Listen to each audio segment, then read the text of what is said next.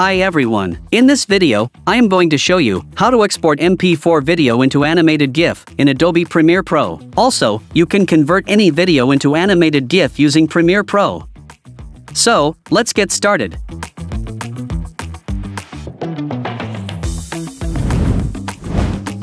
Alright, now we are inside Premiere Pro.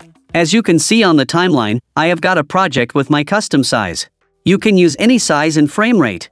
I want to export this project into animated GIF.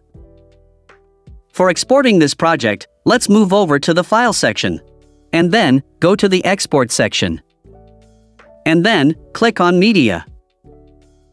Now you can see, our export interface is open. Now, we have to change some settings. From the File Name section, you can give your file name. And then, from the Location section, you have to select your output file location. As you can see here, the default video file format is H.264. This is a MP4 video codec. For the animated GIF file, we don't need this MP4 codec. Let's go to the preset panel. And then, we have to select this animated GIF match source preset. This preset is designed for an animated GIF file. After that, from the File Format section, we have to select this animated GIF codec. In the next step, to render at maximum depth, you can enable this box. You have the option to enable this box for maximum render quality.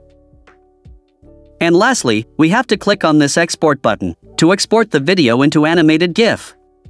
This will take some time to export the file. In this way, you can convert any video into an animated GIF. Alright, our export is complete. I hope you enjoyed the video. If you did, like the video and leave a comment.